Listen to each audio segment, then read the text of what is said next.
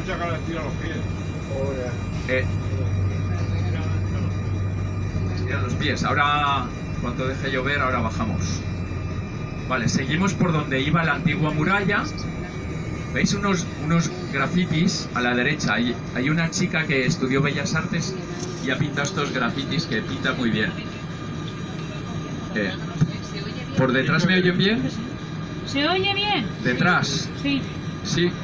Vale, mirar a la derecha que hay unos grafitis que lo pintó una chica que, que pinta bastante bien. Que- Eh, va.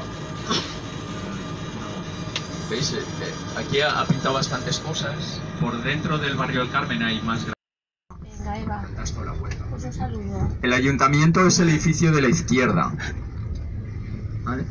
Aquí, en esta plaza, casi todos los edificios son de estilo modernista y en el centro, ahí donde no hay nada, en el centro a la izquierda, es donde se tiran las, las mascletas en marzo, la- durante fallas, y los castillos de fuegos artificiales. Todo la- los petardos, los, los cohetes se ponen ahí a la izquierda. Aquí pone la falla grande que hay, La, ¿no? la falla grande vamos a...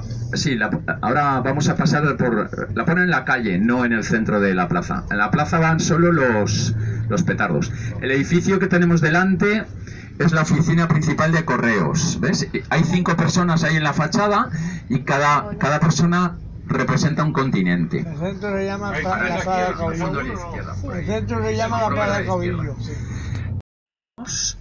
Eh, la mayoría, los más antiguos, son de estilo modernista. El modernismo se construyó en Valencia hace unos 100 Hasta que no años. a principios del siglo XX. España no participó en la Primera Guerra Mundial, luego en la Segunda tampoco, y eh, los agricultores valencianos exportaron muchas naranjas y arroz al resto del mundo, que estaba en guerra. Entonces, los precios de las naranjas y del arroz eran altos en aquel momento, y entonces ganaron bastante dinero y con ese dinero en los bancos se pudo financiar la construcción del modernismo. La ciudad pues eh, tenía dinero, los, muchos valencianos ganaron dinero siempre con la agricultura. Ahora estamos en la calle Colón, que es la principal calle comercial. Todo lo que está a la izquierda se construyó a partir del año 1860. ¿Qué pasó entonces? Pues que eh, la población creció mucho y faltaban casas, faltaban viviendas para, para la población. Entonces, la muralla y las puertas de entrada no eran útiles desde el punto de vista militar, porque venía un cañón y te lo podía destruir enseguida. Entonces los valencianos, las autoridades decidieron destruir toda la muralla y 10 de las 12 puertas de entrada. Las dos que quedan no se destruyeron porque las utilizaron como cárcel en aquel momento. Unas eran la cárcel de mujeres y otra la de hombres. Aquí a la izquierda veis una moto amarilla. Esas motos amarillas son de alquiler, son, eh, son eléctricas, llevan batería eléctrica y a través de una aplicación se pueden alquilar por minuto, vale 20 céntimos el minuto. A la. Aquí a la derecha hay un colegio público, a la derecha, y debajo del colegio en el patio hay uno de los refugios antiaéreos más grandes. Aquí cabían 700 niños en el refugio. Debajo del ayuntamiento, mil personas. Y en cada colegio público, debajo de cada colegio público, había un refugio antiaéreo para 400, 500, 700. Este año han abierto tres refugios al público que se pueden visitar. No tienen mucho interés porque en realidad son sótanos con unos pilares muy, muy anchos para resistir las bombas. Por ahí, por la izquierda. Conquistó, entró en España entre 1808 y 1811.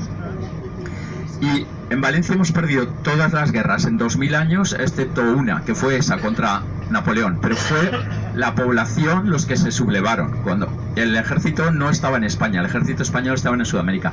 Mirad a la derecha que hay una escultura, una estatua de un hombre aquí detrás de los árboles, que ese era Vicent Domènech el Palleter.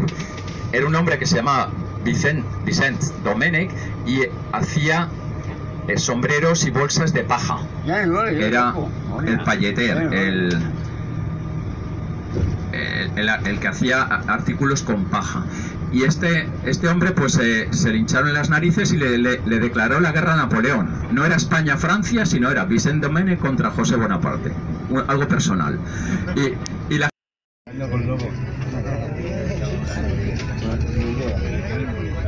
Yeah.